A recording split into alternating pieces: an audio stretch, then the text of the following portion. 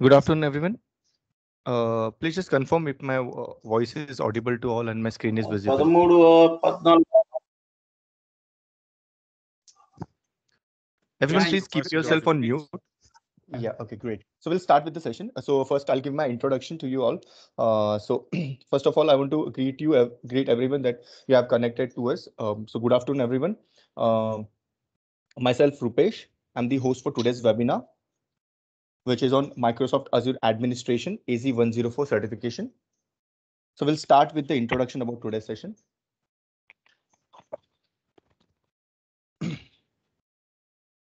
Before moving ahead, uh, I would like to give a small introduction about our today's sponsor, that is Synergetics. So Synergetics is the India's one of a kind uh, corporate learning solution company, which helps any industry to get their rele- relevant technological solutions and helps to be on top of the competition. We are not only restricted to group trainings, but also our Microsoft certification trainings helps every every individual professional to succeed in this competitive world. Here are some of the master solutions offered by Synergetics. As, a- as you can see, onboarding solution, reskilling solution, certification solution, certification plus add-on solutions, cloud adoption solutions, architecting, practice playbook, latest technology training, and emerging technology trainings.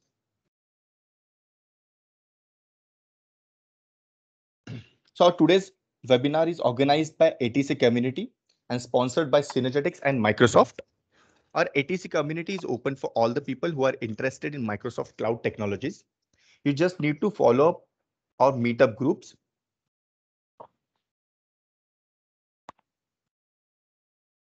Which are emerging technology community, Azure Tech Community Pune, Surat Emerging Technology Community, Azure Tech Community Nagpur, and people who are interested in artificial intelligence, they can follow uh, artificial intelligence AI on Microsoft platform community. All you have to do is just install and meetup application in your phone and you can follow us by searching with these names. So this is our code of conduct for today's webinar. Please note that you cannot take the screen shot or you cannot do the screen recording. Our recordings will be shared in the uh, on our YouTube channel so do follow us on YouTube. We'll be sharing all the links in the chat box. So you'll also get the uh, YouTube link in the chat box. Do check that later. So uh, there's one more uh, thing I want to add. So today I want to share an important message with you all. Recently, there was an incident happened during a webinar. There was an attendee uh, who, who is also an employee of a well-reputed company and contacted some of our other attendees from the webinar and the, he offered some job options to them. So guys, please take a note of this. We have already blacklisted this person and if anything that will be violating our policies, will be facing strict legal actions from this time onwards. I will request you all to join our session with the learning purpose and please do not mix such activities which are unprofessional. So let's move ahead.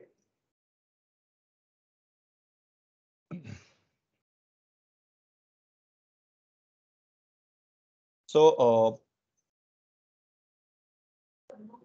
our agenda for today's webinar is uh, manage Azure identities and governance, implement and manage storage, deploy and manage Azure compute resources, configure and manage virtual networking, monitor and backup Azure resources. Our session takeaways are getting inside to implementing, managing and monitoring an organization's Microsoft Azure environment. So our today's speaker is Mr. Om Prakash Pandey. So Om Prakash sir is highly experienced Microsoft certified trainer with decades of rich experience in technical learning and implementing consultations across India and the globe. His teaching experience spans across more than 50,000 students and 200 enterprises around the world.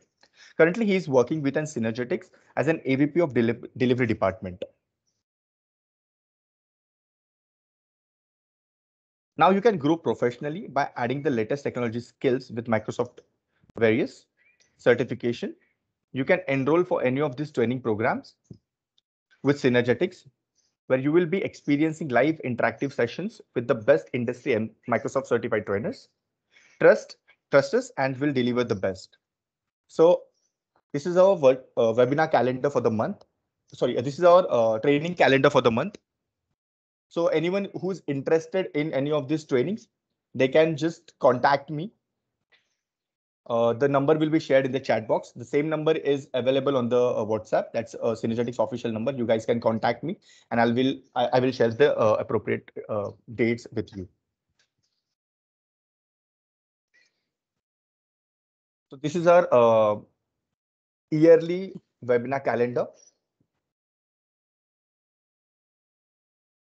Our next certification webinar that is happening on 14th of August. The time will be in the morning, 10 a.m. to 12, 12 p.m. Uh, so uh, it is on introduction to Microsoft Compliance Solutions.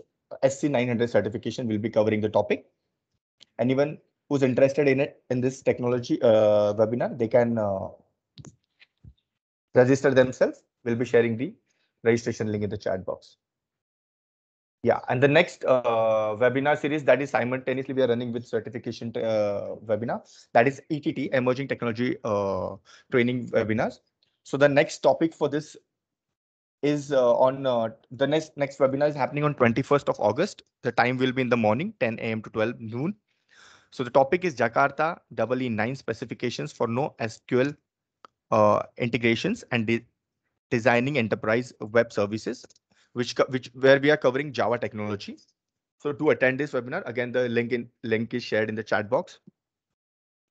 One special announcement, uh, as your feedbacks are very important for us, uh, guys, please do share your feedback. Uh, we'll, we'll be sharing this feedback form in the chat box.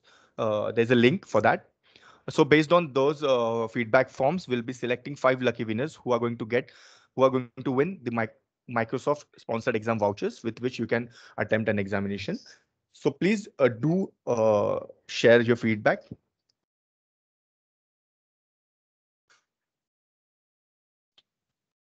So now I would like to hand over mic to Om Prakash sir. Thank you everyone once again. So you can continue from here. Hello and good afternoon everyone. Am I audible to you all? Yes, sir, you're audible. Yes, yes sir. Yes. Thank you. Yes, sir. Thank you. So let's get started. Thank you very much, Rupesh, for uh, the introduction. Welcome, sir. To let me know once my screen is visible. Yeah, it's visible now. Yeah. Thank you. Thank you very much, everyone, for joining I know Saturday is a rest day for most of you all, but still you'll have sneaked out time to invest in your further learning. So taking ahead from what Rupesh mentioned rightly, I'm pretty sure everybody has been through such kind of links in past, which shows how extensively Microsoft is spending and creating huge number of available certifications on different areas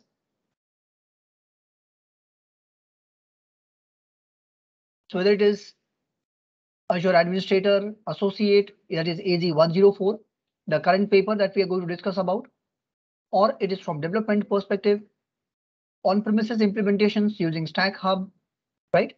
Azure Security Associate, is AZ500, right? Papers for artificial intelligence, data engineering, DevOps, specialty of solutions in terms of SAP or WVD, Everyone, please keep yourself on mute. So most of you would have been through these kind of certification papers.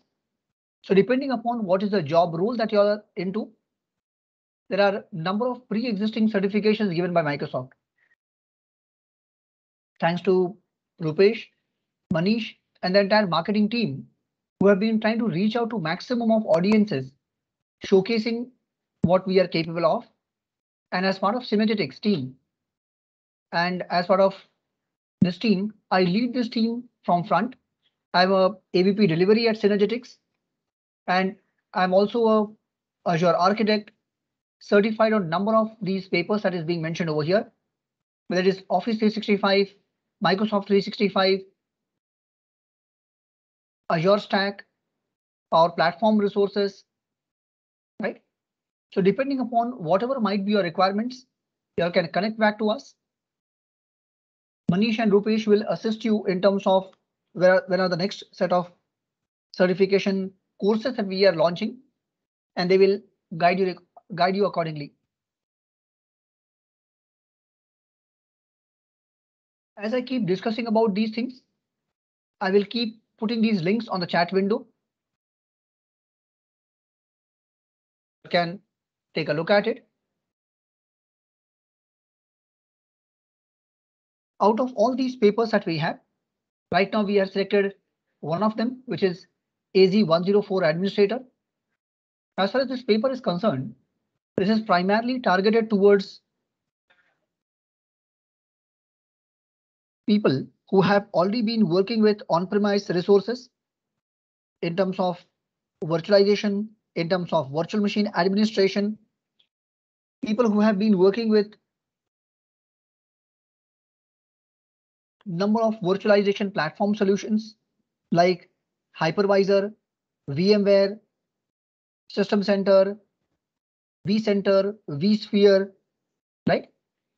Uh, VirtualBox solutions, so people who have been working on these areas, have experience and expertise on these areas, it becomes easier for them to latch on to this course, understand about the deliverables, understand about the components over here, and see how it works on a cloud platform.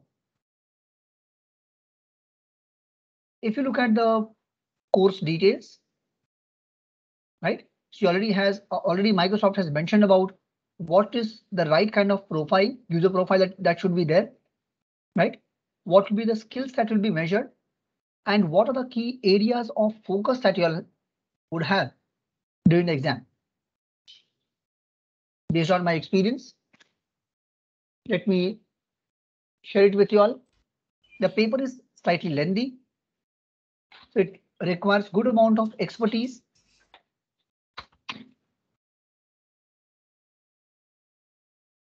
It needs good amount of expertise. It needs great amount of practice. Because if it, if it takes time for you to, everyone please keep yourself on mute. Rupesh, can you help me with this? I'll take up the questions at last. I'm sorry. Right now, I would want to complete the discussion.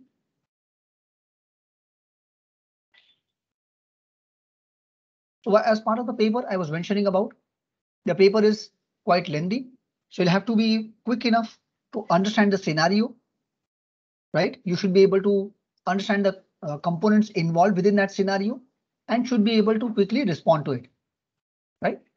So that's a very important uh, aspect.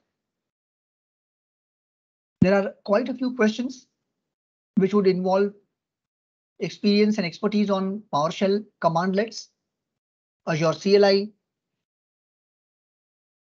working with Azure portal. So there will be a number of uh, questions where the screenshots will be given to you all and saying and the, the questions relevant saying what will be the impact of this, right? So if you what will be the right option, uh, right option to choose from if you have to satisfy a given, if you have to solve a given problem, right? So most of the questions which are being given are scenario based questions and that's the reason why I'm mentioning it again and again. It requires a thorough practice, right? Now, if you look at the core topics over here, one of the most important aspects that is identities and governance.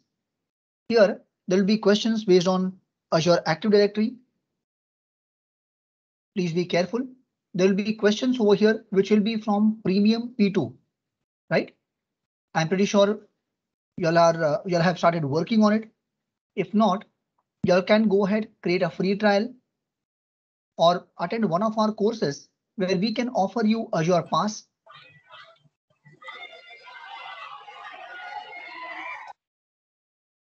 Thank you.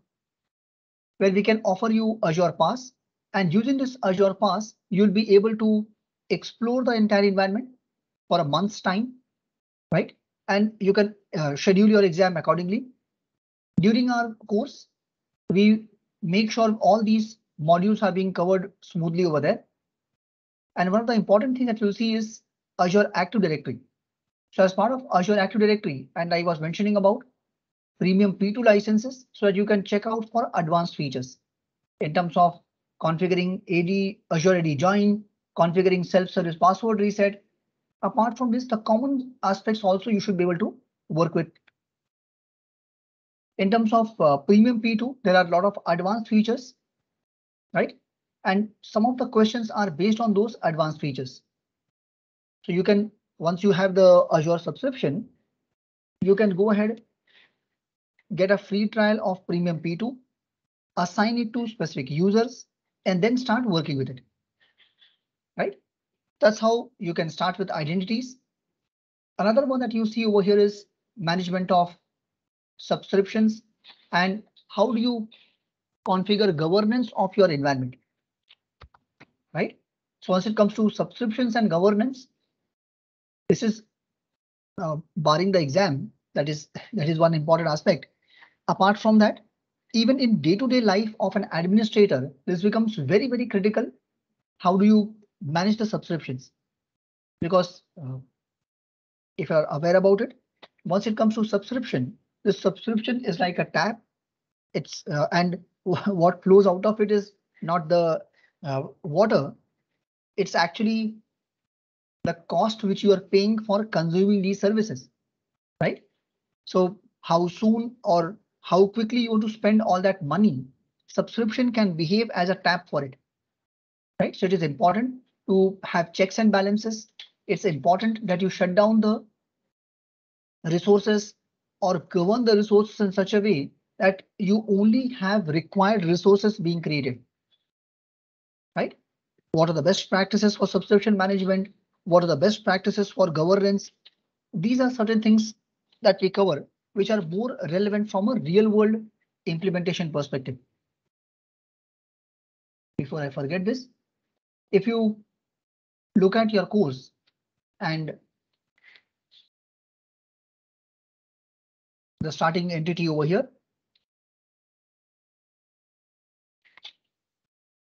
Everybody can go to this link. And if you all scroll down, you all will be able to see number of free courses over here, right? Which I would recommend everybody to go through. So in terms of prerequisite for Azure administrators, your identities, management of storage. So every aspect that I'm mentioning about, all these things are available as free courses from Microsoft. Right? Now the que obvious question over here is, oh Prakash, if these courses are for free, then why should I attend any any other course from any other organization? Maybe Synergetics or maybe any other XYZ institute. As far as these courses are concerned, these are uh, providing the base background. They don't go into too much of details and they don't share some of the industry experience or best practices which is required for day in day out tasks which an administrator is supposed to do. And that's what is specialty at specialty at Synergetics. Correct? So what I recommend all my participants before they come to my session is have you already gone through these online offerings or online courses which is given by Microsoft?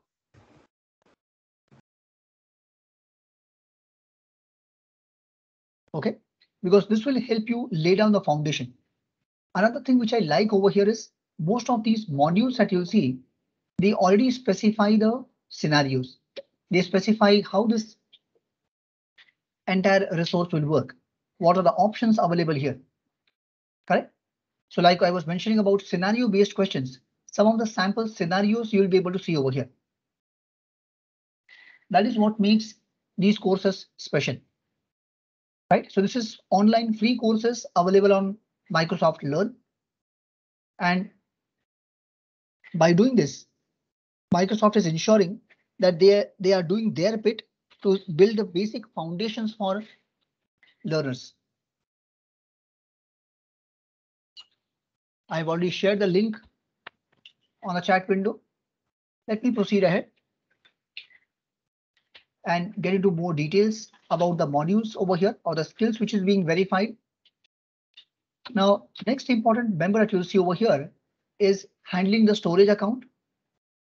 Now, as far as any of your resources are concerned, and it's nothing to do with the cloud environment as such, even if you look at your on-premises environment, even as part of on-premises environment, we are focused on three important aspects. One is compute, second is storage, and third is networking, right?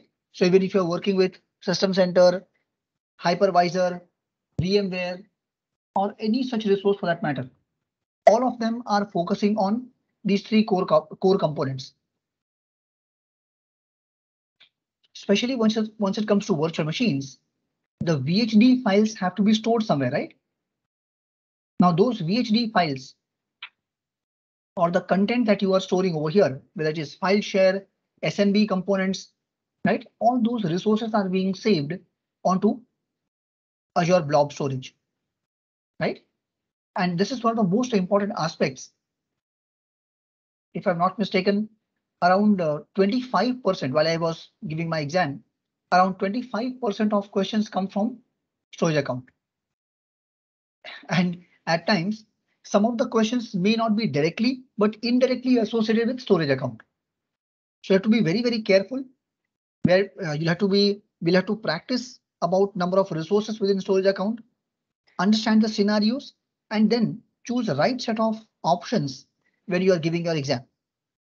In real world scenarios as well, some of these storage, com uh, storage components that you have, they are associated with SAS tokens, which is shared access signature. And using this shared access signature, we are able to uh, allow access to a given individual or group of individuals based on the timelines, based on their IP address, right? Based on uh, what uh, what permissions or what restrictions you want to enforce, correct? So there are a number of attributes which incorporate or uh, which which we are able to enforce over here by using these SAS tokens.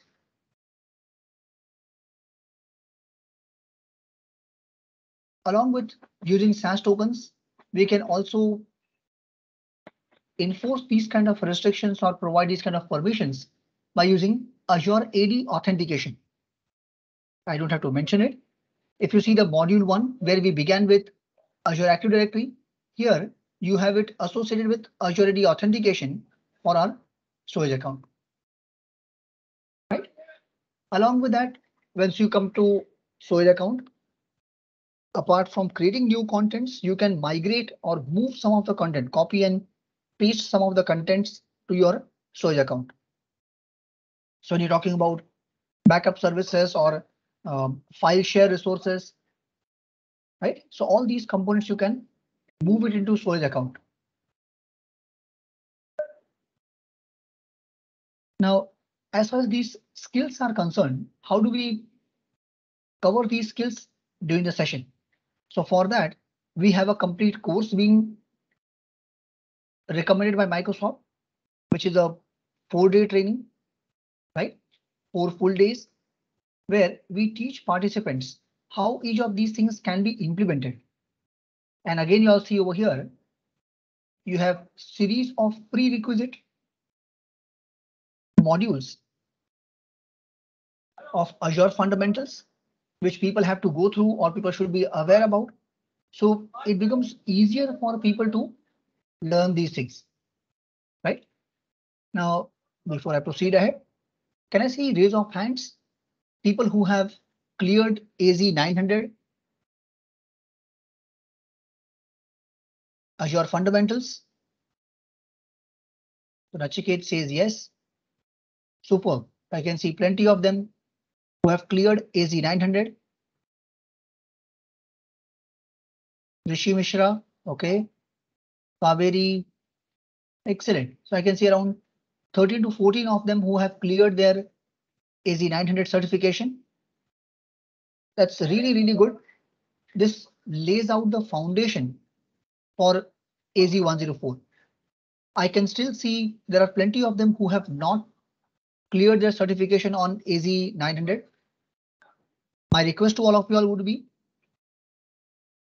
please look at the entire course go through it because AZ900 is not uh, specifically about a specific type of audience, even salespeople, pre-sales folks, right? People uh, who are from finance background and are uh, uh, are moving towards cloud because today cloud is is become a necessity every, everywhere. So it is very, very crucial that everybody begins their journey and the foundational journey begins with AZ 900.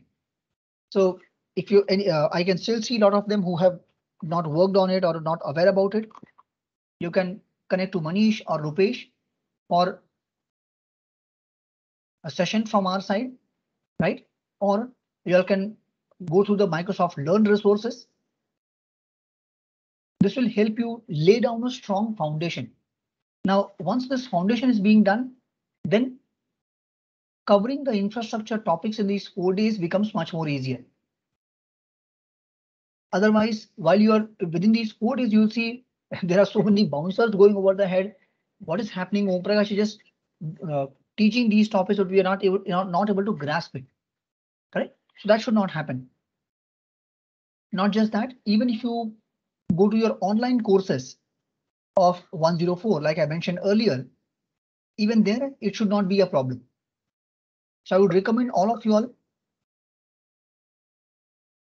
to complete this course from Microsoft Learn or from wherever possible to, he to help you have a strong foundations on what is cloud all about, why cloud, what are foundational services on Azure environment. So those things you will be able to see over here.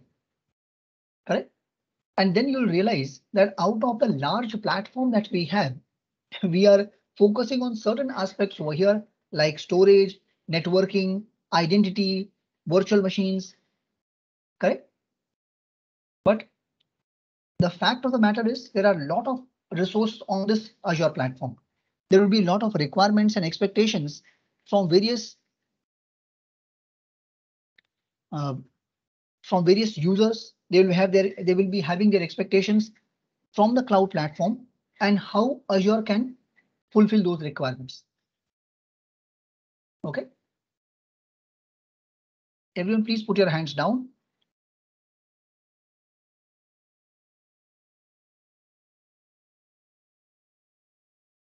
Everyone, please put your hands put your hands down. Amina, Rahul. Thank you. So can I see raise of hands? People who are from AWS background.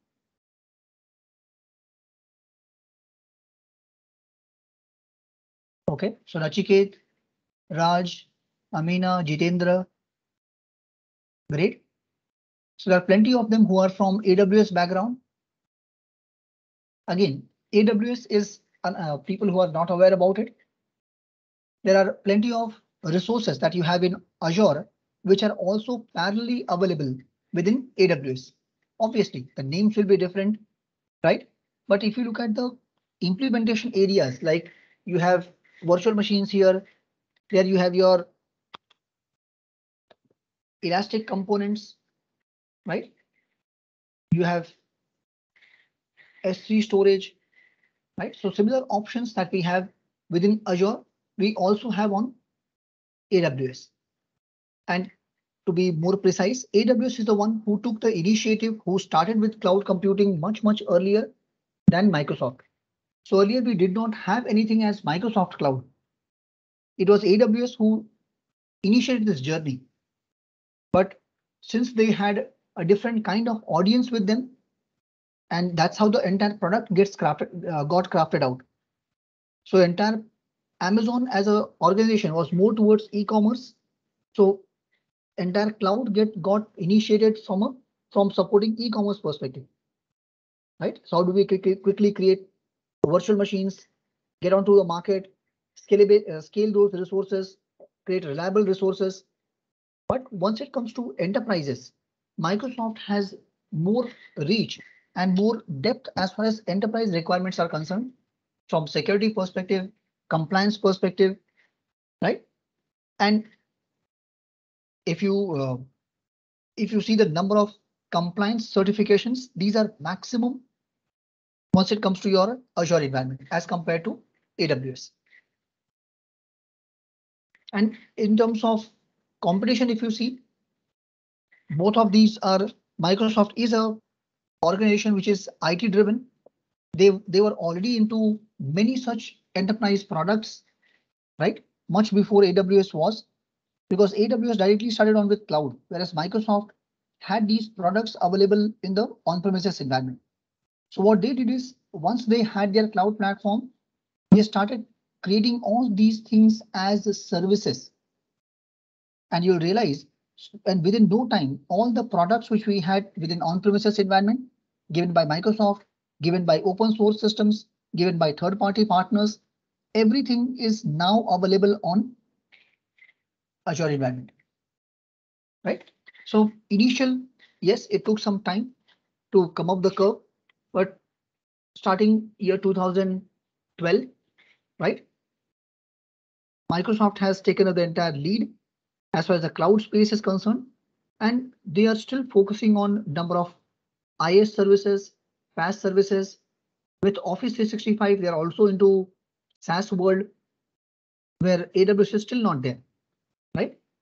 So if you look at the spectrum of services or spectrum of resources offered by Microsoft Azure, or I would say Microsoft solutions, it is much, much bigger as compared to what AWS is offering. Now that's one aspect of compute solutions. But if you look at helping users to move on to Azure environment, there's a separate course for two days which is targeted towards AWS specialists.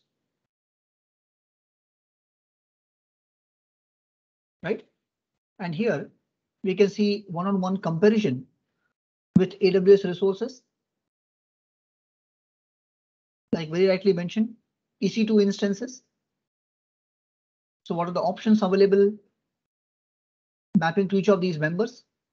in terms of storage accounts, in terms of file share. So whatever you all have been doing or whatever AWS team team members have been doing, right? How do we achieve same kind of thing on Azure platform? So it's more of it's uh, I would not say it's new learning. The uh, I would say it's more relevant from mapping perspective, mapping or creating a, a similar kind of solution which exists in terms of AWS on Azure platform. Right? So we can assist you in these solutions as well. We have specialized team members who have certified, who have done certifications on both these platforms, especially once it comes to administration.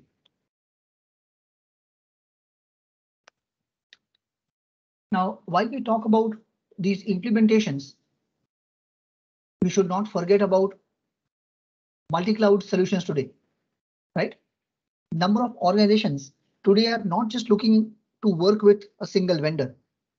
They're saying if that one vendor goes down or there's some problem on the on the vendor side, how do I make sure I'm able to serve my customers better?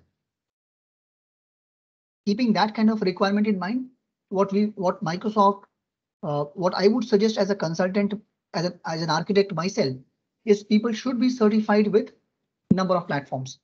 So you should be certified on Microsoft Azure if you are already certified on AWS. Right?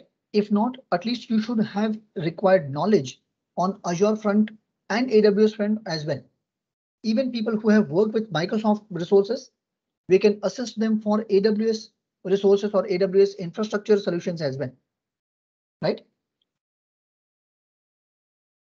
Because it becomes easier for us to learn via comparison. And the most important thing that you'll see is, so whatever I mentioned right now, how Microsoft is scoring above AWS, unless you'll see it yourself, try it out yourself, how do you know that? Right? You can't go to a customer saying that since Om Prakash said that uh, Azure is better, I'm saying the same thing to you. It, it doesn't work that way, right? So you'll have to show some of the examples, create some of the solutions, bring out your uh, uh, bill of materials, bring out the resources, right? And show some of the implementations, how the costing, how the product resources, how the performance. And these uh, options are much better in a, in a new environment.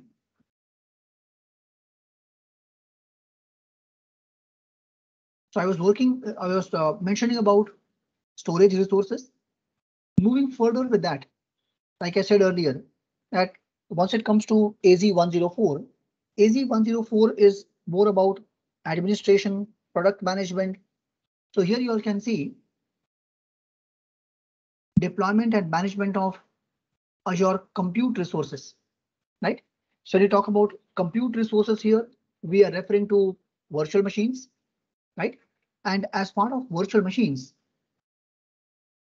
there are, uh, or I would say, before we get onto virtual machines, there are a number of entities over here which where you need compute resources, the computational power that you need. So a vendor which provides more set of options in terms of range, variety, right? Different set of uh, simplified management solutions, right? That makes our life easier as administrators.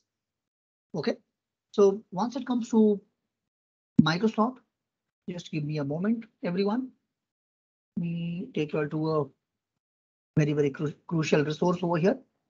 So there's a separate section over here called as Azure documentation, right? And even within that, you have something called as architecture center. Within architecture center, you can look at something called as compute service. And there's a very simple and elegant diagram, which I would want to show you all.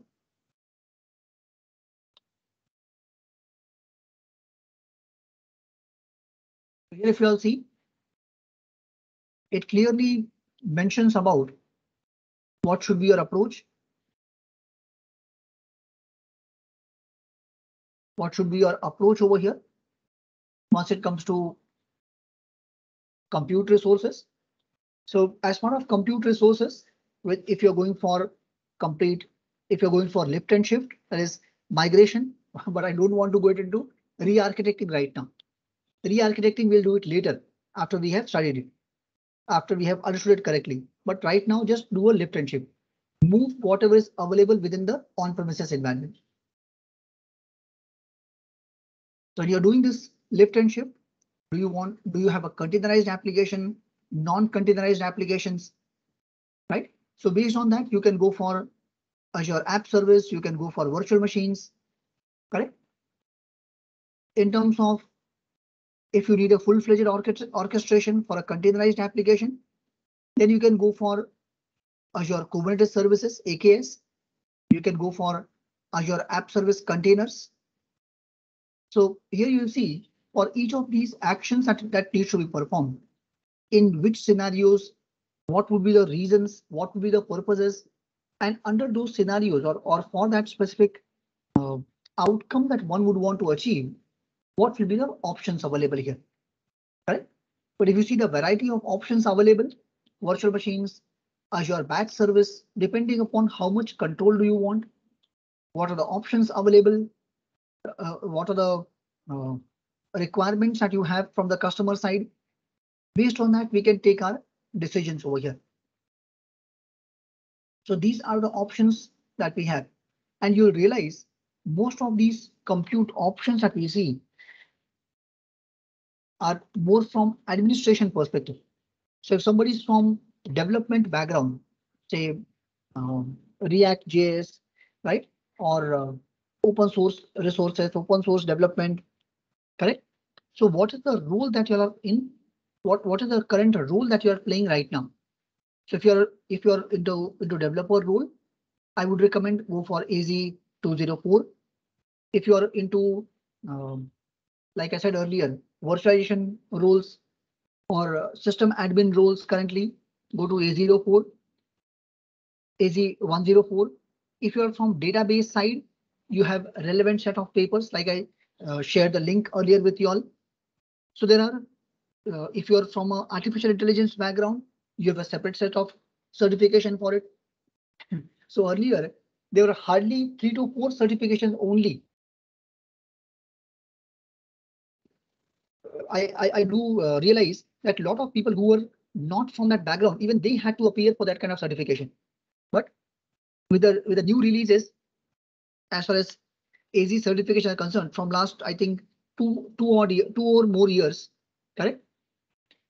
Microsoft once uh, they have released these separate set of tracks, right? People have been getting or specializing into those areas, getting deep dive into those resources. So doing their conceptual learning, doing their uh, imp- respective implementation over there, right? And that's that's what is helping them to speed up. That's what they're uh, helping them to go deep dive rather rather than learning a lot of unnecessary things that they were doing earlier. Okay. So as you all go ahead, you all will be able to decisions correctly and depending upon what is your area of interest, what do you want to specialize into? Based on that, you can choose your certifications. You can choose your learning options over here. And we are standing behind you to help you guide the entire uh, implementation, help you uh, help and assist you in in your learning process, in your certification process, right? And that's what we do these sessions for. So people can come ahead, ask their questions, and we can help them to understand what is the basic certification details over here. So Manish and Rupesh, they have already, they would have already shared their uh, details with you all in terms of email address, their phone numbers, you all can connect to them, right? And we can organize sessions for you all on specific topics, whether it is certifications or it is uh, specific areas of concerns or questions that you'll have.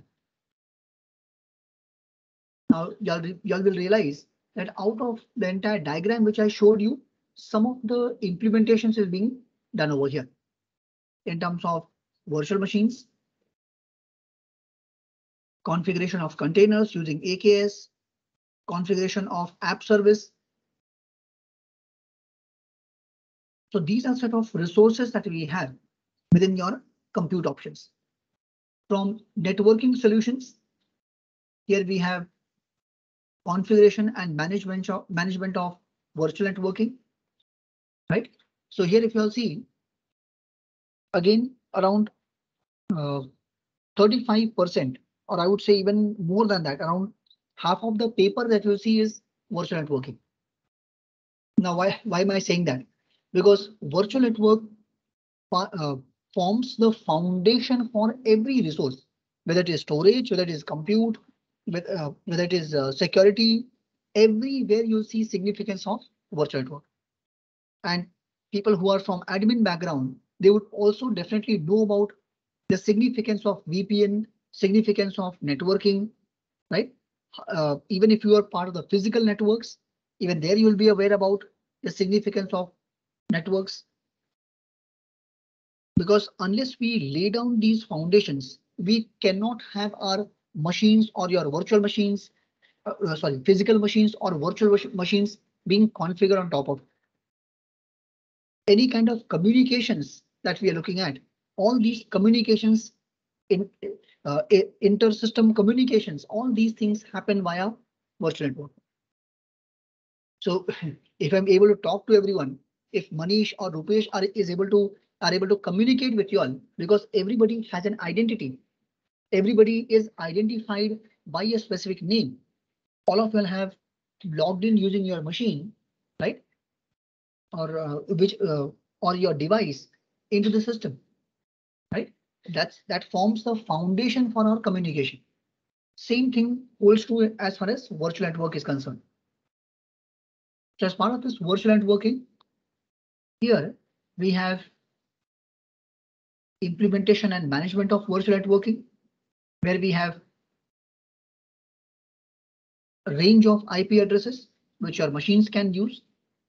So there can be a private IP address. There, sorry, there has to be a private IP address and you may or may not associate a public IP address depending upon whether you want external exposure or you want to share your resources with other team members, uh, other uh, um, customers directly, or you want it to be accessible only to internal consumers or internal customers. That's up to you. So if you look at the options available here, access to your virtual networks, how do you protect access? So one is enabling access and second is restricting access. So I would want only relevant people. I would want relevant members. Correct? I would want to open only respective ports, which is uh, which is mapping to my applications to be opened for communications, right? So these things we'll need to do as a administrator of Azure environment.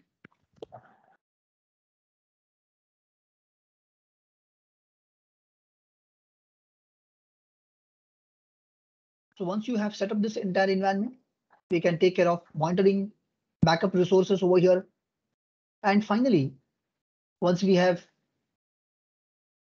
set up this entire environment, we can monitor these resources by using Azure Monitor. So many times as an architect, I would have, or as an infrastructure person, I would have promised a number of things to my customer that this is what we'll achieve. This is the this will be the performance, right? You go to cloud, we'll we'll show you stars over there and all those things. So we may have promised a lot of SLAs, lot of things. Is it actually working? If not, what is the problem? Because cloud has enormous amount of resources. If something is not working as per customer expectation, what is the reason for it? What is going wrong over there? So some of these things we can clarify. Some of these things we can verify by going to Azure Monitor. Since I was talking about SLAs, if what if the underlying system goes down or it is not responsive? We can't leave our customers high and dry. So what we have to do is we'll have to create us BCDR solutions, Azure Backup, Azure Site Recovery solutions to make sure if the primary site goes down, secondary site is available to us. Right? So these are some of the core modules, which is the focus area as part of your AZ104.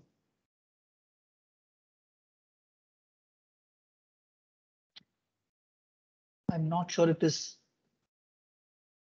PDF is visible to you all. Let me share this URL once again.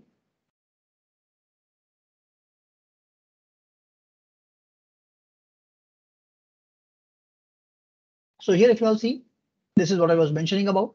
So even before you latch on to AZ104, start working on it. Some of the basic information or basic details is essential.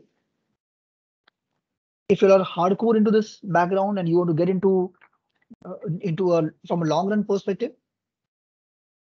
you would have, if you have already been certified on MCSA, Windows Server 2012, 2016, MCSE on core infrastructure, right? So these are some of the foundational aspects, or you can go through Azure fundamentals. Like I mentioned about, there's a self-paced online course, which I mentioned earlier. You can go for AZ104 administration, which I'm talking about right now. I showed you two resources in terms of Microsoft documentation, Azure Architecture Center. So these, these are pre-existing set of links which Microsoft offers to make sure y'all go through then y'all should be able to understand the complete journey over here, how these things work, what are the options available, and what is the next step after this. So once you are certified on uh, AZ104, y'all can go ahead with migration of applications, right? You can go ahead with DevOps, depending upon what is your role right now within the organization, right? And what is the future roadmap which is being crafted for you all, right? So based on that, you can continue further with other set of courses.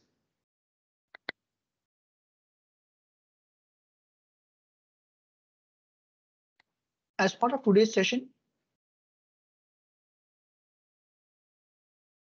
I would quickly want you all to take a look at the most important module, which is virtual networking, which is one of the sessions that we do as part of the entire course.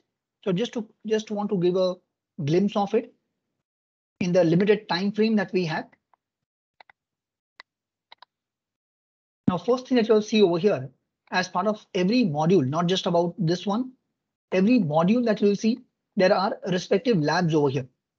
These are Microsoft provided labs where you where you may not have uh, what do you say, screenshots for each and every aspect because today sharing a screenshot can become dangerous with the with the speed where the technology is changing, the resources are changing, correct? So what Microsoft has done is they have clear clarified saying these are the steps that needs to be done. And for performing those steps, one may use PowerShell, one may use CLI, one may use a portal. So in each of these cases, these are the steps required. Go ahead, perform these steps, and you'll get your resource ready. So that's the approach which Microsoft has taken. So every module that you'll see, there will be a respective lab over here. And even before when we, like I said earlier, even before we start the session, we share details with participants in terms of Azure Pass, right? We share required MOC, Microsoft official curriculum, right? So that the knowledge part of it, the knowledge part of it gets covered, the implementation part of it gets covered. And during the session, like I said, sharing of real world experience gives them the needed skill to perform the activities and work with required resources. In terms of components that you'll see, it will be segregated in terms of lessons. So starting off with virtual networks, your network security groups, Azure firewall, and finally mapping to the DNS services. So even here, if you see, laying down the foundations, securing the access to the contents within the virtual network, right? Whether it is simple through NSGs or uh, NSGs and application security groups, or you can use a complex solution over here like Azure Firewall. And once you are exposing these services or exposing these resources to the end users, you can make use of Azure DNS. Even if you want to work with it internally, you can make use of private DNS over here. Right. So these are the core entities that we have as part of virtual network. Right. And now if you go to deep dive of these resources, so you have virtual networks, respective subnets, right? We'll be, we can look at implementation of virtual networks. So while we are discussing about each of these things, barring the lab that I mentioned earlier, every module, the SME who's delivering the session will show you required demonstration over here so that we can understand how these things are working. What are the uh, options over here before the lab is being handed over to you all you should have seen these things working. Now, most of the slides that you'll realize would have proper diagrams because once it comes to the visual representation of any of these uh, areas, right, it becomes more appealing. It becomes more clear in terms of understanding and people can relate to their environment, which, which they have been working on. So in any given scenario, they would have an on-premises environment where they have physical machines, they have physical network, they would have a virtualized environment here, correct? They would have other uh, they would have other virtual networks within the same environment or within another cloud platform service provider. Now within Azure, you would go ahead create a virtual network. You could you would go ahead create a subnet over here, and within that subnet, you'll specify your virtual machines. This is basically your network interface card where the private IP, which is uh, from the from the given range, will get associated over here. Right. So some of the base resources or base diagrammatic representation would be shown over here. At times, as a trainer, when we are trying to explain any uh, any complex aspect, we get stuck because we don't have that kind of diagram being shared by Microsoft. So in those kind of scenarios, what we would do is we would use respective tools like I'm uh, showing it to you all right now using draw.io or using Visio, right? And here what we can do is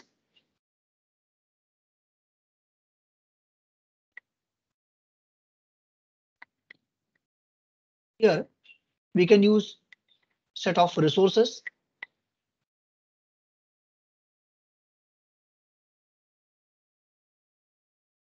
Appropriate shapes over here. And you all can see there is number of resources from AWS.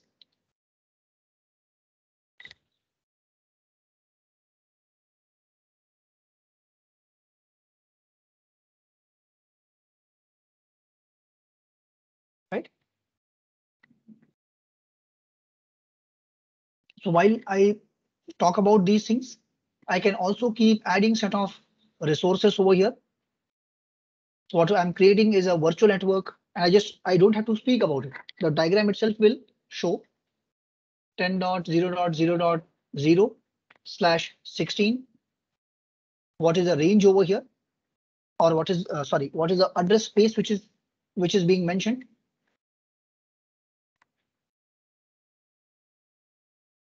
Within that virtual network, what are the subnets that we are creating? What is the significance of each of these subnets? What is the range that we are specifying over here?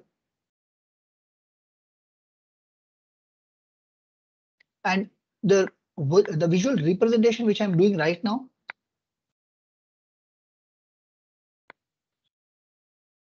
We refer it as concept visuals.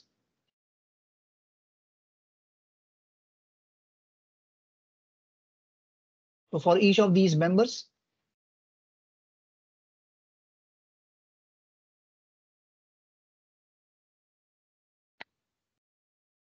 we have slash 16 for the address space on virtual network level. What will be the address space for required members over here?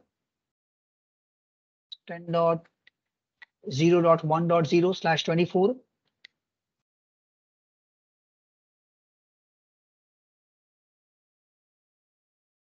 10.0.2.0 slash 24. What is the respective subnets over here? So while we are creating these resources, we do mention about the name of subnets so that participants. So while we speak about these things, they can go ahead and create these resources. So with minimum assistance required from our side, looking at the visual representation, understanding the details being mentioned over here.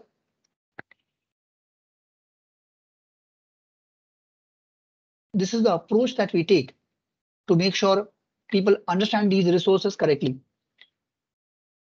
And like I said earlier, this is what is what we refer as concept visuals. Now for each of these subnets, we'll have required virtual machines over here.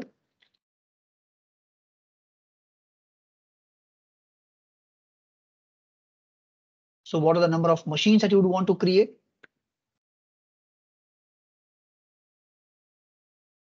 For app subnet, number of VMs that one would want to create.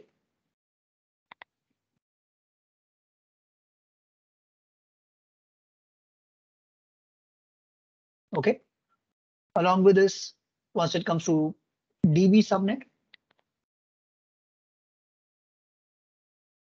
I can have SQL Server virtual machines here.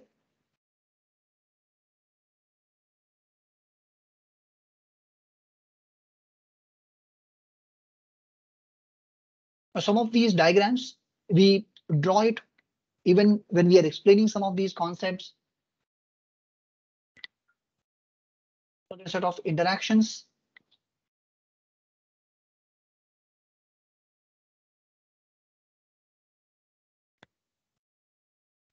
On with this. At times, if I am not able to locate the shapes, I can directly hop on to what are the options available here.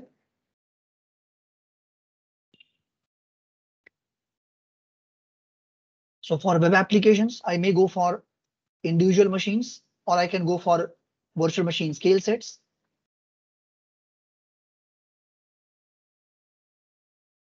Depending upon if we are looking at containerized applications, non-containerized applications,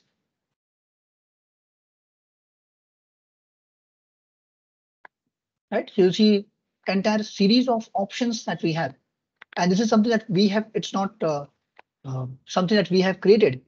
I'm trying to showcase these are some things which we, are using as part of our session so that it becomes easier for people to understand. It becomes easier for people to relate to it. And what are the core components over here? How does it work? Right? So the entire process which happens behind the scene is being explained to participants and with respective labs, they, they are able to see these things in action. And that's the most important aspect of our uh,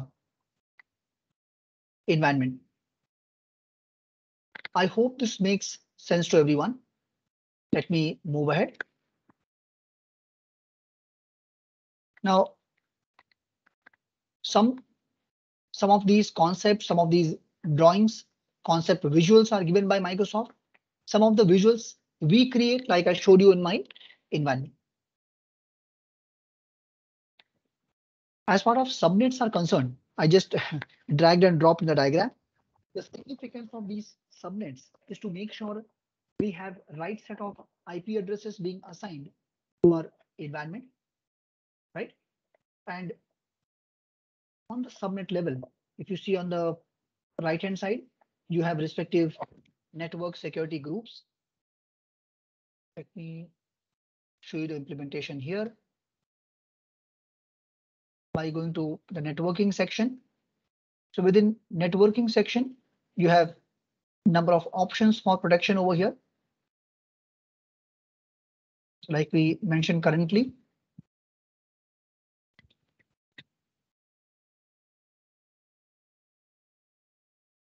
Let me put up respective NSGs over here. Network security group. And we can mention which are the ports that you want to open. Which are the ports that you want to open. So once it comes to database, I'm not sure MS SQL database, which port is required. Anybody who can help me with that?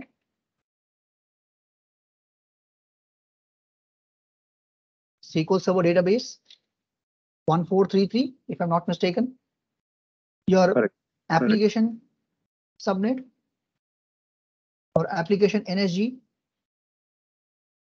depending upon whether you are uh, working with HTTPS, HTTP. Based on that, you can specify your ports over here. As far as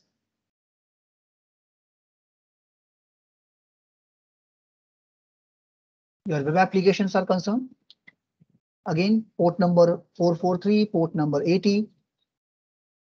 For, each NSG network security group, which are the ports that you want to open over here, whether they are inbound ports, outbound ports, you can use those symbols over here. Now, while we are drawing this, we are also making sure that once this drawing is complete, we should be able to hand it over to the implementation team or we should be able to implement it ourselves as well. Right now, that is what is the important aspect over here. So some of these things, while we are discussing, it becomes easier for us to showcase and make sure people are able to create these resources. As far as Azure portal is concerned, so based on the Azure Pass being shared with everybody.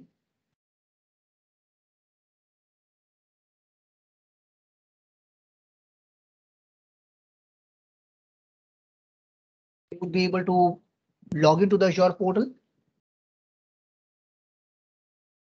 Create required resources.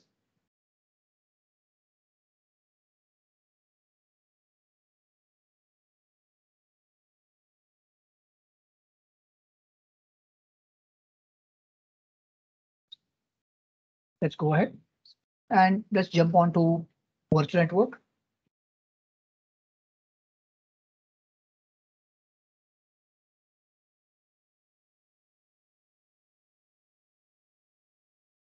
Let me take up a new resource group over here. Now, once it comes to resource groups. They are very, very important logical, they are very, very important resource for creating logical set of resources within a specific boundary. So when you want to apply any kind of governance, you want to specify any kind of rules, it will become easier for us to work with it. Right? So as far as the name is concerned, let me give it name as Synergetics Virtual Network. Let me specify a region over here as uh, Central India, West India.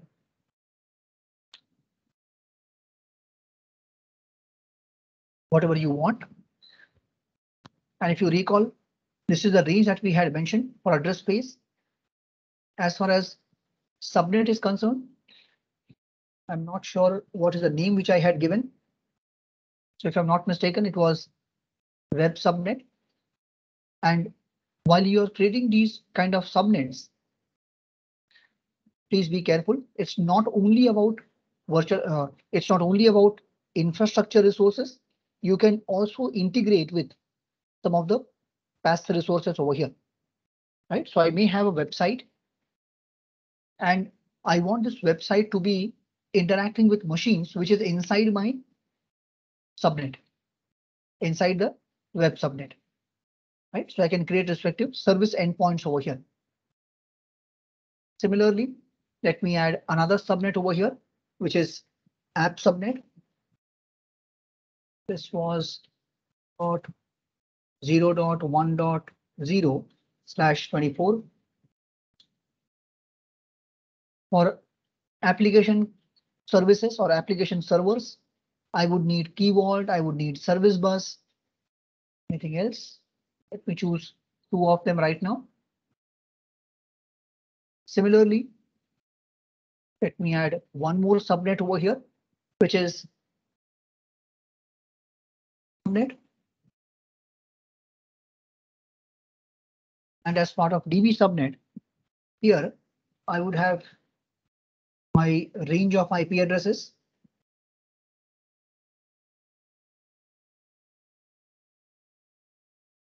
Service endpoints over here. I can integrate with SQL. I can integrate with with storage account, Cosmos DB as well. Right. So depending upon now, this is a I would say a bridge between your infrastructure services and platform as service components. So some of these things which I'm showcasing right now is not available as part of the free courses or the uh, or the documentation that you have as a single example. So what we do during our sessions is we specialize our sessions based on the consulting experience that we have, right? So as part of, I'm not sure if Rupesh had time to mention that. And within within two hours, if the entire time is taken in terms of introduction, it will be too large and I would not recommend that as well. So we have our entire consulting team and every SME who gets into a training also uh, make we make sure that he has been through two, three, minimum three projects before they start teaching on these topics. Because their uh, statements that they make, their suggestions that they make should be more relevant, should be more real life. And that's what differentiates our training. And that's what we uh, what do you say, leverage upon from our experience that we have got, right? So like I showed you uh, here itself, you, you have three subnets over here for a multi-tier application. And each of these members, while I was creating, I have also associated service endpoints over here for relevant services. Let's go ahead. Click on security. While I'm doing security, here I can specify DDoS or Azure Firewall service. Now, what is Azure Firewall and how is it different from NSGs in real world scenarios? How do you create network virtual appliance? How do you associate over here? These things will be a most exciting part to learn over here as we go ahead within our sessions. As far as the Bastion is concerned, this is a pre-configured jump box service given by Microsoft, which will help uh, which will help us safely connect to our environment. Okay. Let me proceed ahead.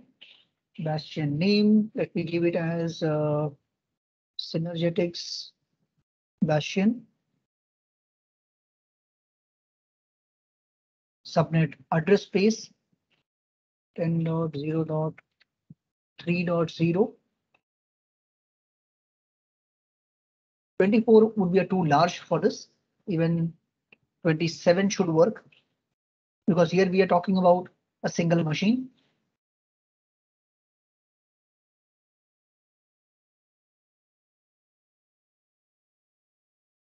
Okay, so we can specify, we should specify a public IP address over here. Let me specify a name for it.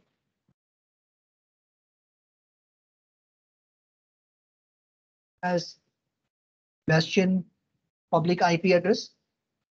So Bastion basically is a pre-configured jump box service. Once we're done with this, let's go ahead, go to the tags over here. As far as tag is concerned, here I can mention the purpose of creating it. The purpose is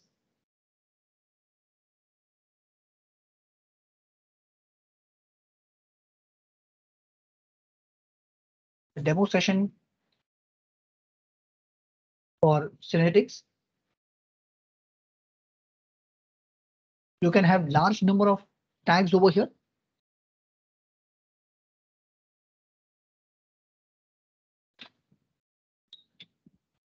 In case of initial resources.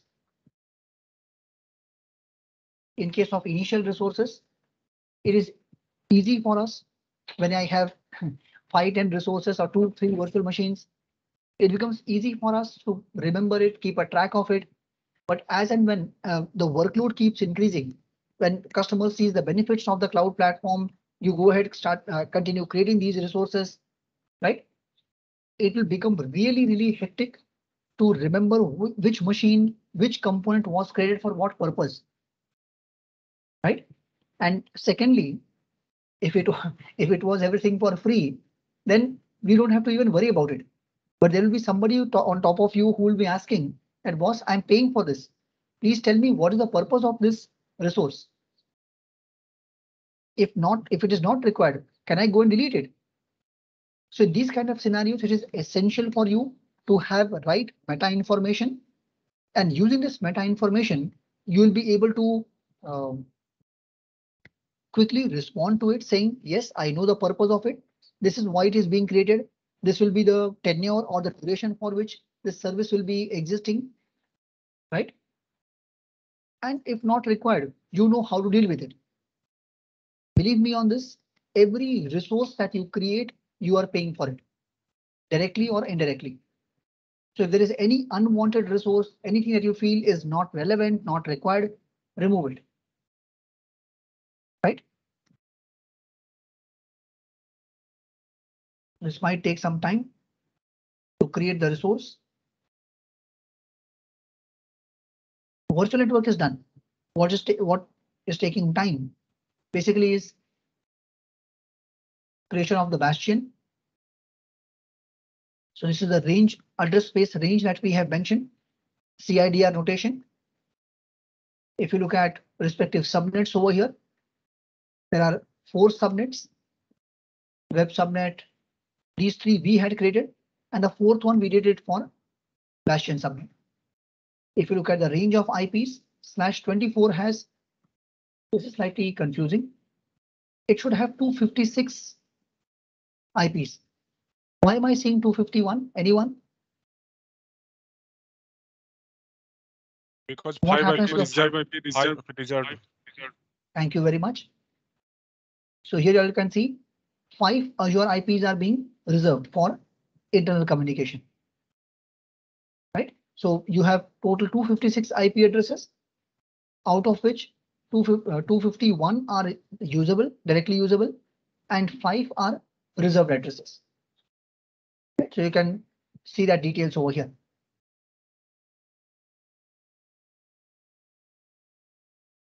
So depending upon how many IPs do you require, you can reduce uh, you can reduce the range by increasing the number. So 16 will have around uh, 10,000 odd IP addresses, right? Whereas as you keep moving ahead, as you keep increasing the number, the range will keep getting smaller. So here we here, here we have 256 IP addresses, out of which 251 are usable IP addresses. Let me stop here. Let me go back, check the resources. Do I have my Bastion service ready? Yes, it is. Let me check the status. She's still not ready. No problem. Meanwhile, let's go to the next resource that we discussed about. Sorry, we did not.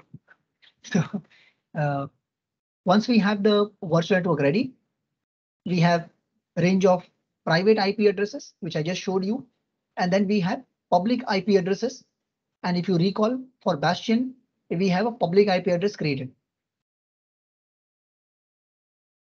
Depending upon your need, you may have a static IP address or you may have a dynamic IP address over here.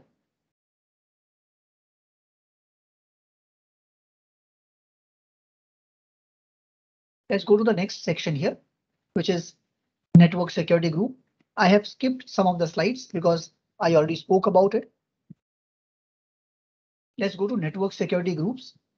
And the next step that I want to perform over here is ensuring secure communications and making sure only relevant services are being exposed.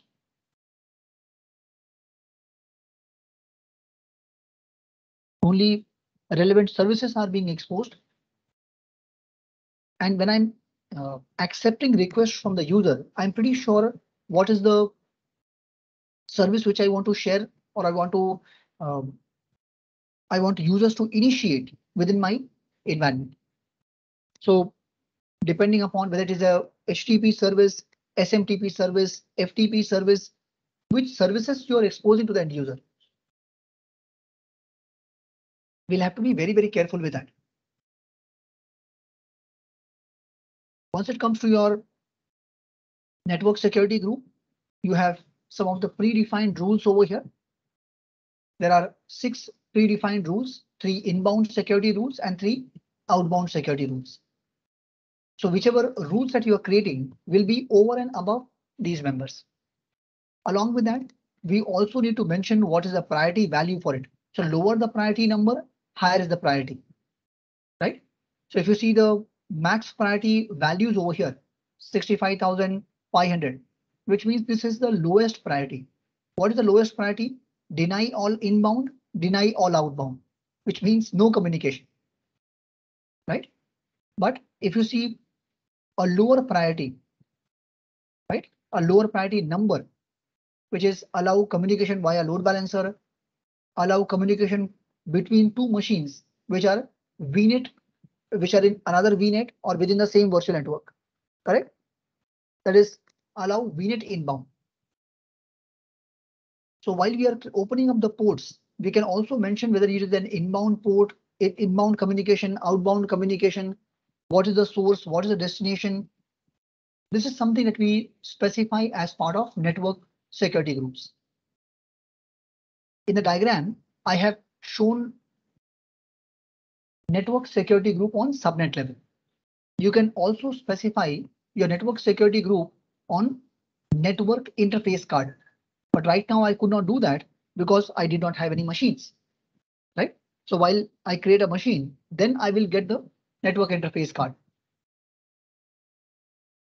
Or I create a, a network interface card myself by going to the set of resources available here. Keeping the time constraint in mind, let me proceed ahead. Let me create a network security group. As part of network security group, you can specify for each subnet. I already have network RG. Let me go ahead and create three NSGs over here. First one is web NSG.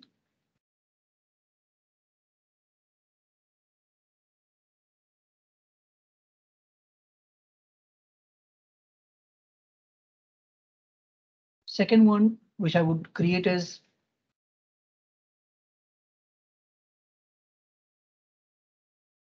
and all of them in the same uh, same resource group. And this resource group that you see is owned by your network team. That's why I've given the name as network RG.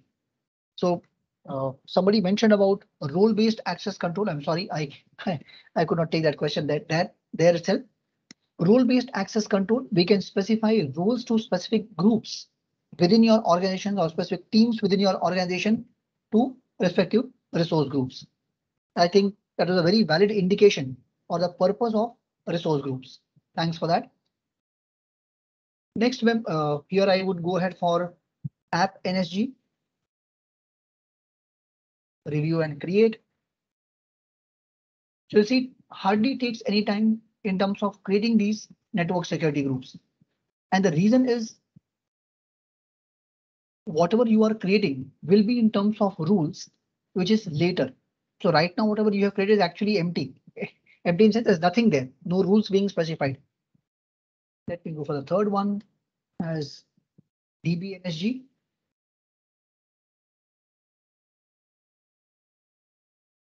So I already have three members being created, three network security groups being created.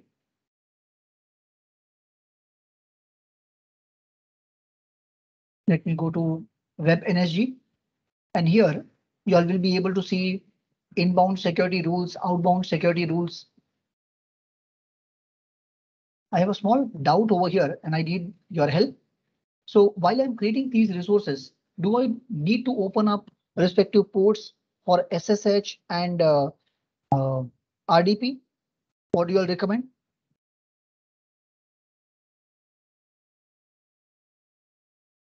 Because if I have virtual machines, I will be doing an RDP here, right?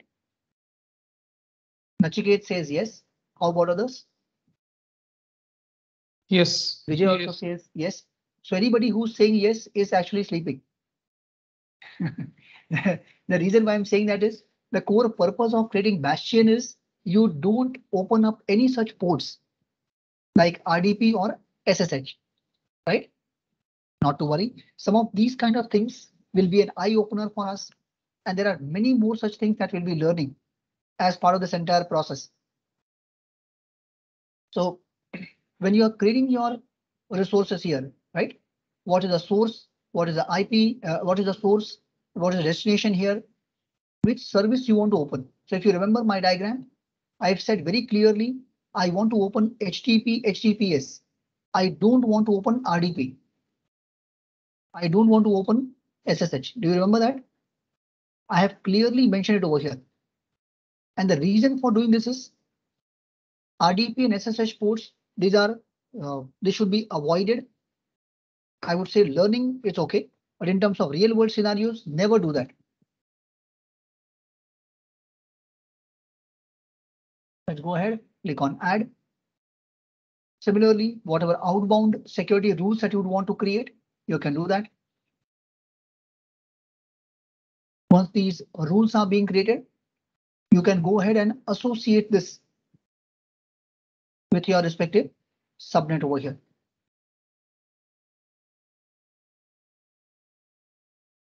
Okay, so I have a virtual network. I already have a subnet. Within that, I have done the needed association. Second is app NSG. Now see this carefully, everyone. So as far as the source is concerned, and again, this is just an example. I want this to be accessible. I want this to be accessible only from web application or machines within the web application. So here I'll say the source IP address is 10.0.0 slash 24. Destination, any machines, no problem. Service, HTTP, HTTPS, whichever you'd want. Priority. Priority can be 100. The reason being this is another NSG altogether. So if I was creating multiple rules in the same NSG, then I have to take care of the priority. my mistake. I forgot that implementation. Let me go back to web NSG. And here. Let me add one, one more for HTTPS as well. So here you see the priority is 110. Give the name in whichever way you want.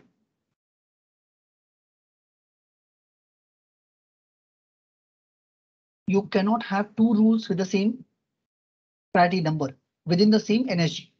Across NSGs, no problem.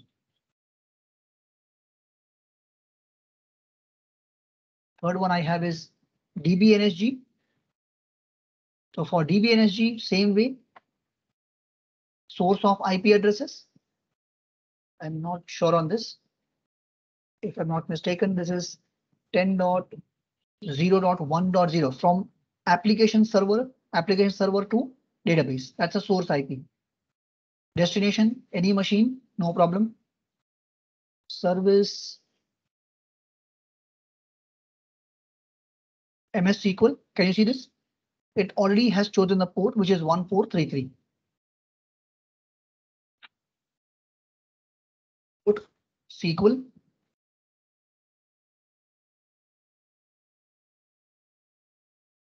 So while you are working with your resources over here, you can mention which ports you want to open, how do you want this communication to happen. And all this is being done by the relevant team.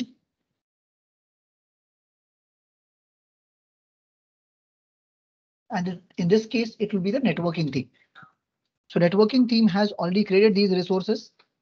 They have got these members ready so that now the server team can go ahead and start creating re required resources for the same. OK. So you may have respective NSG rules for network interface card as well. Because within one subnet, there can be multiple machines. So for, for a specific machine, just one moment, huh? sorry.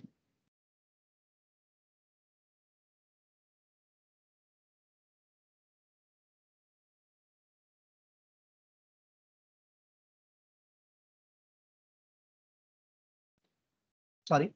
So I was mentioning about NSG effective rules. So there can be number of machines which we have within a given subnet.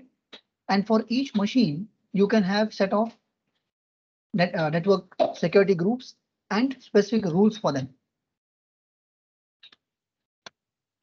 I showed you showed you all the purpose of creating NSGs and how we can go ahead and create these resources over here. And we looked at creation of inbound and outbound rules.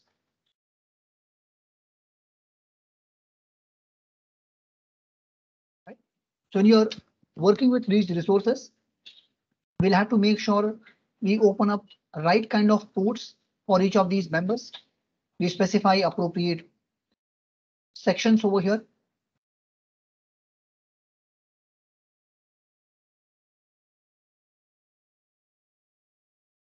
along with this, if we if I recall correctly, we mentioned about on-premises connectivity.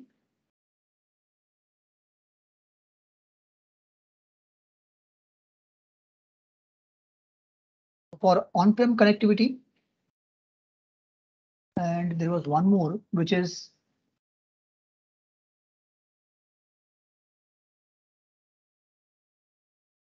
connectivity with other virtual networks.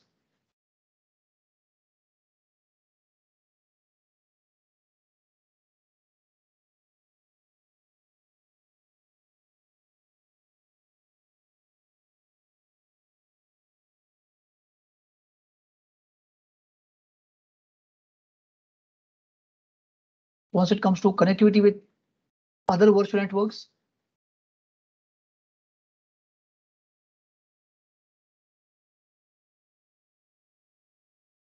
Here, what we have is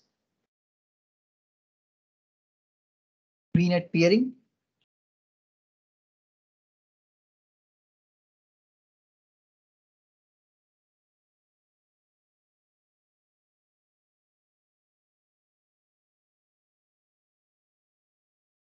Which could be a regional VNet peering, or it could be a global VNet peering.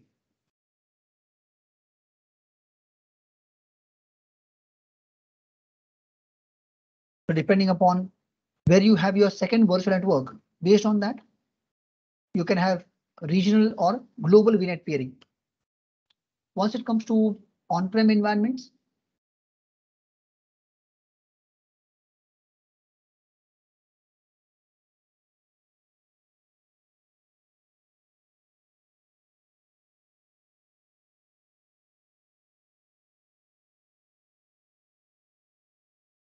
here we would have site-to-site connectivity.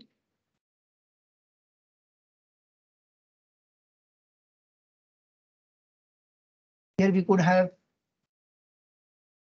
express route connectivity, depending upon what kind of bandwidth you are looking for, what is the kind of reliability that you are looking at.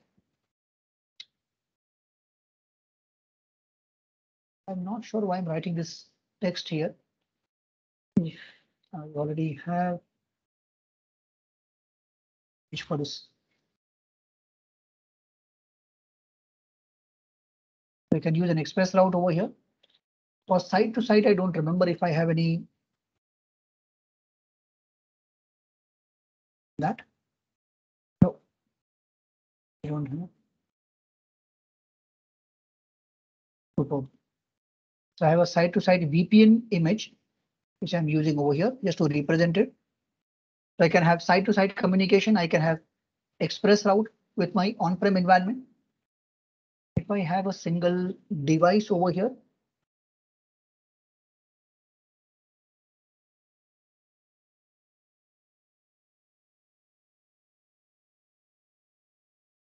or a single device, I can have connectivity available for that as well. Anyone, what will be this connectivity? For a single device, Point to site. sorry? Point to Point to site. site. Thank you very, much. yeah. So here I'll have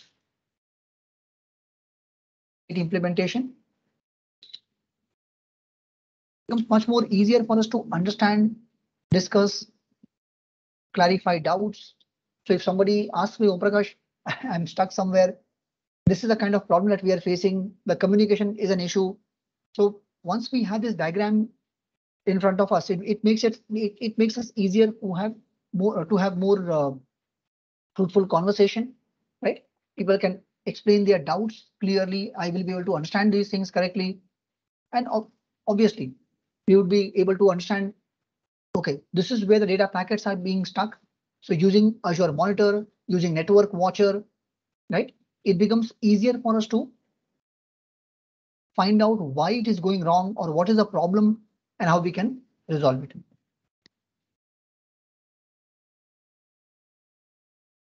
So I want to stop with this.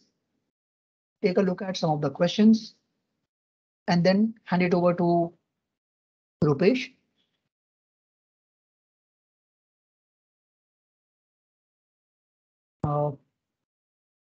Amay, uh, Rupesh will mention about the session recording. What is the mechanism of making the session recording available to you all? Just uh, give me some time before he takes over and explains that process to you all. Um, Yash has mentioned a very important thing about high availability configuration. Thanks Yash. So for high availability configurations, we have something called as availability set.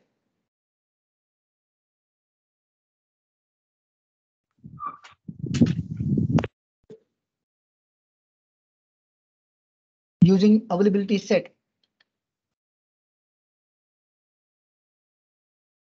Yes, correct. I don't know what's wrong with this.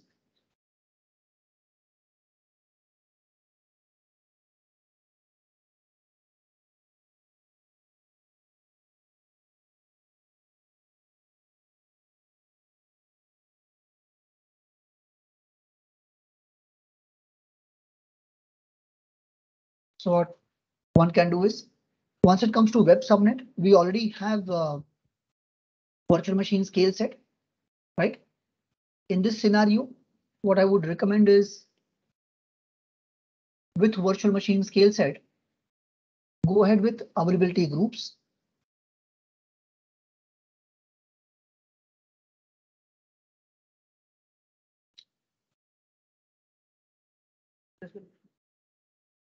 As compared to availability sets. Whereas once it comes to your uh, SQL Server implementation, this is where I would recommend go for availability set.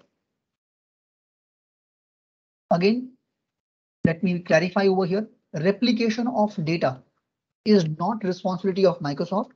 Replication of data is your responsibility. How both these instances will be synchronized, whether you want to use mirroring, database mirroring, whether you want to use quorum server, all that would be your responsibility. Microsoft is not responsible for that. Microsoft is responsible for getting uh, for giving you an SLA of hardware or uh, sorry infrastructure availability. Right. I hope that answers the question. Take up another one.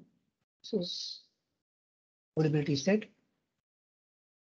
My mistake. This is not availability groups. This is availability zone.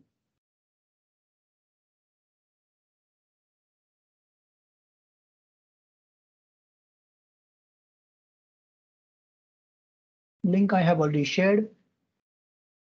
Other links for the meetup community is being shared by Manish. Anyone else, any questions you all have? So I can take up those questions here.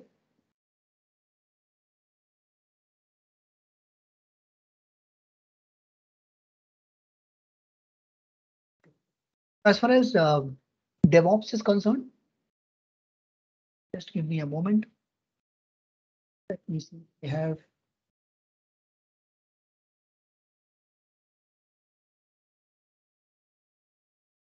So as far as Azure DevOps is concerned, Azure DevOps has number of resources within itself. And the primary components are Azure repos, Azure pipelines. Two of them should be good enough for us to, to discuss right now. So what you what we can do is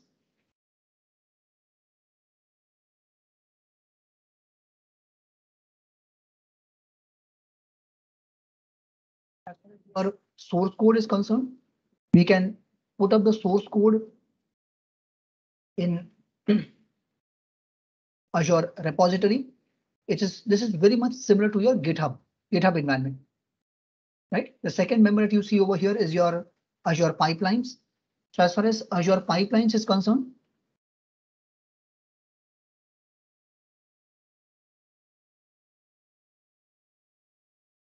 Azure pipeline can pick up resources or can trigger based on any kind of code check-ins or code which is being up, updated or uploaded onto the source code repository. And via these pipelines here, there are two set of two type of pipelines. One is build pipeline and second is release pipeline. As part of this release pipeline, what we can do is we can help you all publish the content. So whether you want to publish the content within your app services, you want to publish contents within your scale set resources, all these things will be done via using via release pipelines.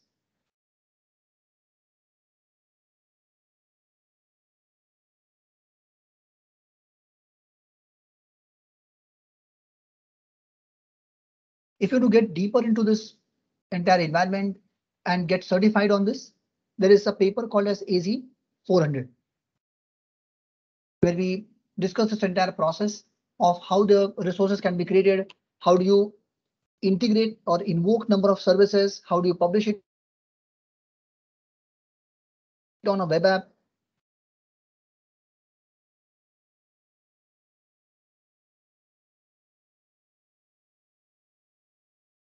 So if you look at Nachiket, if you look at Express Route, Express Route, there are two ways of implementing it.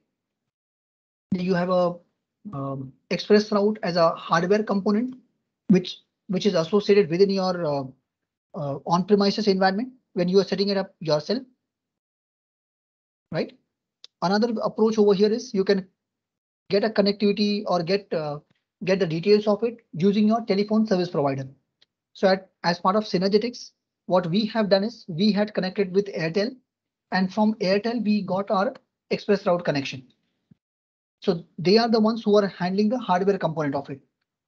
We are uh, managing the device component of it, which is installed within our uh, rack server. And that's how we had we have got it got our connections.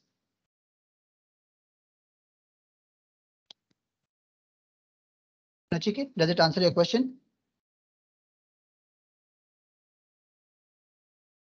Rahul has a very, very important question. Thanks a lot, Rahul. I'm, I'm extremely sorry. I missed out that point.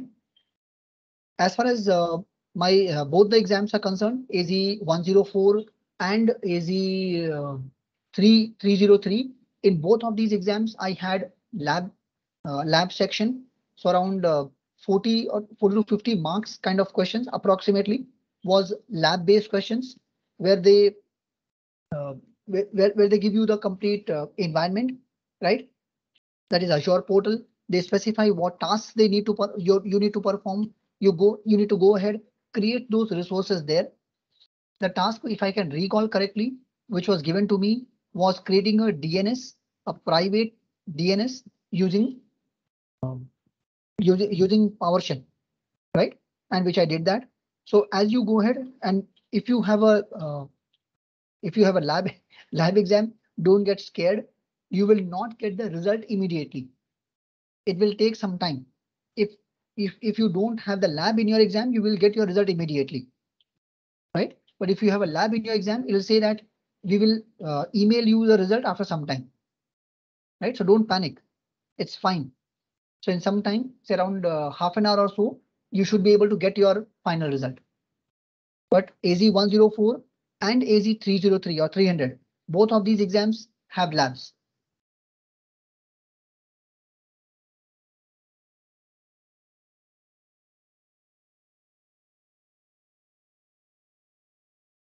Now, just uh, continuing further with Rahul's question. Any kind of exam questions you all have, any kind of exam uh, details you'd want, you all can go to this link over here and you can get all information.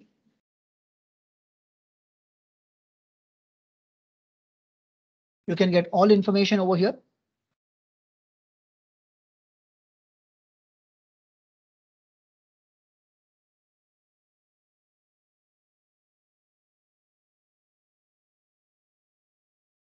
So that's all from my side. Thank you very much, everyone. Over to you, Rupesh. Okay, uh, thank you so much, Om Prakash sir, for this wonderful session on uh, AZ104 Microsoft Azure Administrator. Uh, so everyone, I just want uh, your five minutes attention here. I'll be sharing my screen and quick reminders for you. Some of the quick reminders, I'll be uh, quick here. I hope my screen is visible to all. So quickly, I want to uh, recollect some of the information that I've shared at the start of the webinar. So as uh, we have our next certification webinar, uh, the topic will be on SC900 certification, introduction to Microsoft com compliance solutions. That is happening on 14th of August. You all can uh, register for register for the same. Uh, I'll share the link for this webinar's registration in the chat box. A moment, please.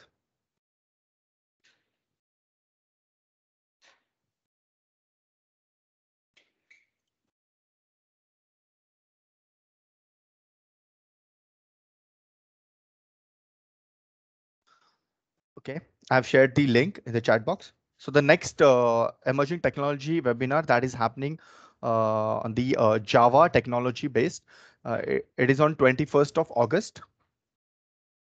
So I'll be sharing the registration link for the same again.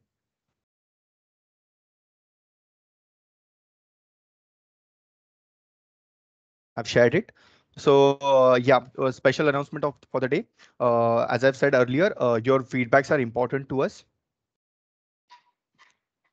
So to share your feedbacks and based on these feedbacks, we are going to select five lucky winners who are going to get the Microsoft sponsored exam vouchers.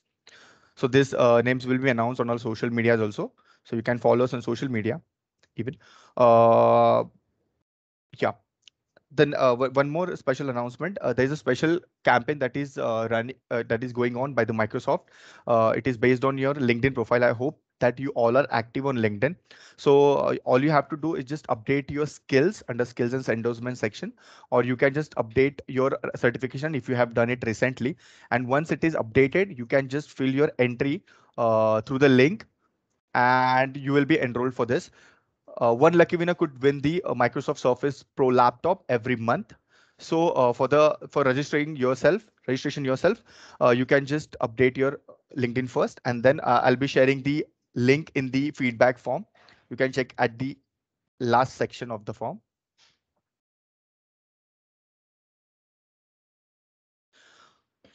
Session recording will be shared on the uh, YouTube channel.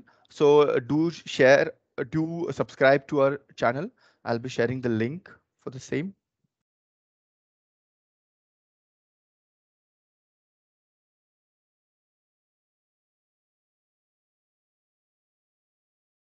And once again, for your reference, I'm sharing the uh, feedback form. Thank you so much, uh, everyone. Uh, don't don't miss to follow our uh, social media channels to get the timely updates. Uh, thank you so much for connecting us. We'll hope to see you in the next session soon. Thank you so much. Have a great weekend, everyone. Thank you.